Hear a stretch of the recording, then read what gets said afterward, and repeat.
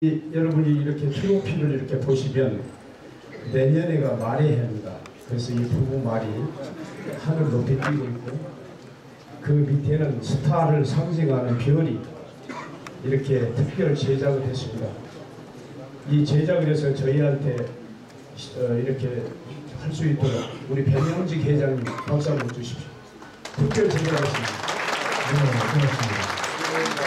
그리고 또한 어, 부상으로는 작년에 안성기 회장님하고 이병헌 씨가 받았던 고려 청장이 이 금액으로는 한 800만 원 상당 그 부분께서 어, 작년에 이어서 또 이렇게 아버님께서 구우신 정성스러운 어, 고려 청자를 봉준호 감독에게 시상하도록 하겠습니다.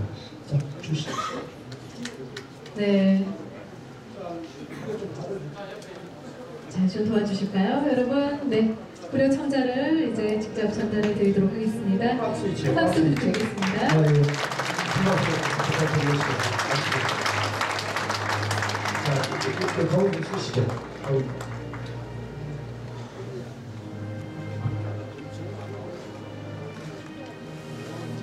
예, 감사합니다. 네.